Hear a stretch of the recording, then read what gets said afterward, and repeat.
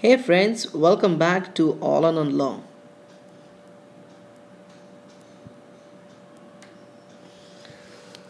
Guys, today I'm going to talk about uh, the EKG changes, EKG, EKG changes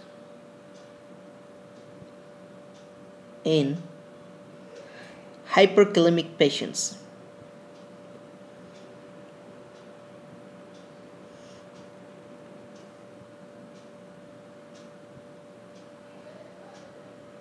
Or hyperkalemia.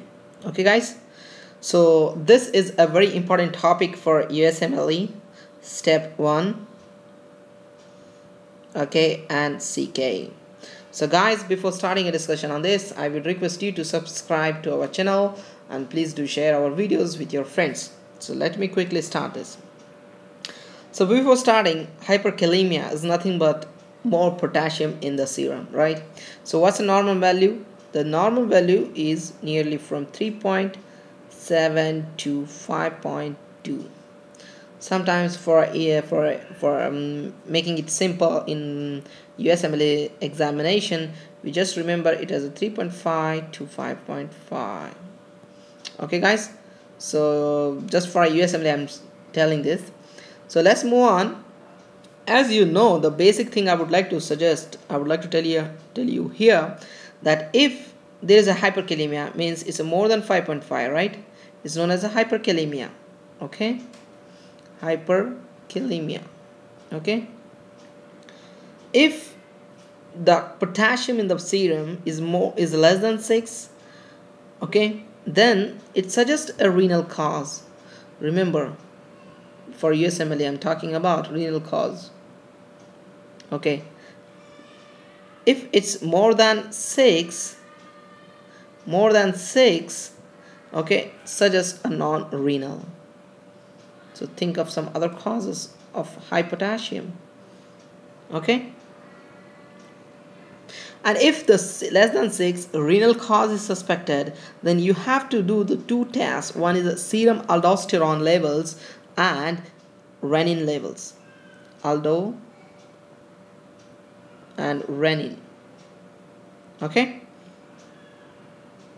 If renin is normal it suggests a hypoaldosteronism.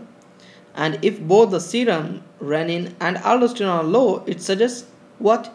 Hyporeninemic hypoaldosteronism right? And if serum aldosterone is normal it suggests a renal tubular defect. So these are the things I'm going to discuss later but here right now I'm going to talk about what are the EKG changes expect, uh, accepted accepted in uh, what you call um, hyperkalemia. Let's make a beautiful table. If the serum level is 5.5 to 6.5, what are the expected what you call EKG changes we see? Remember there will be a peaked T waves, peaked.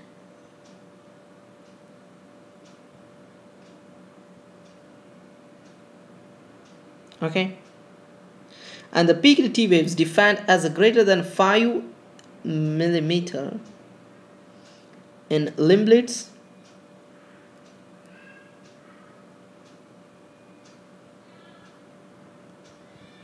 okay. 5 mm. And greater than 10 mm. Greater than 10 mm in precordial leads in precordial leads okay? And remember also symmetric tented peaked waves of any height normal T waves are asymmetric okay? Right? Now let's talk about if the potassium level is more than 6.5 to 7.5 what are the EKG changes we expect? Now this is really very important for USMLE step 1 and step 2 CK examination because you need to diagnose the disease depending on the what you call uh, EKG findings whether it's a hyperkalemic, hypocalcemic, uh, electrolyte imbalance okay? So here you see a flattened P waves flattened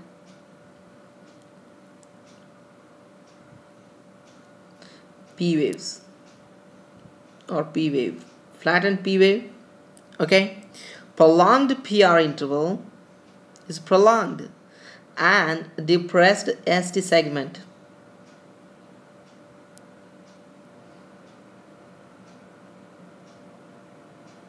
Okay. These are the changes that take place if the potassium level is 6.5 to 7.5. Let's move on to the next thing that is if the levels are 7.5 bit higher 8.5. The only EKG change you can expect over here is QRS prolongation prolonged. Okay? Right? And if it's more than 8.5 then a sine wave. Okay guys this is a beautiful table for your USMLE examination. Try to know the uh, EKG changes expected in a patient with hyperkalemic depending on the levels of uh, potassium level uh, okay. So thank you so much for watching this video. I'm sure this video is really very helpful for you. Thank you so much for watching this video. Um, please do share our videos with your friends. Please thumb up and um, keep watching our other videos. Thank you so much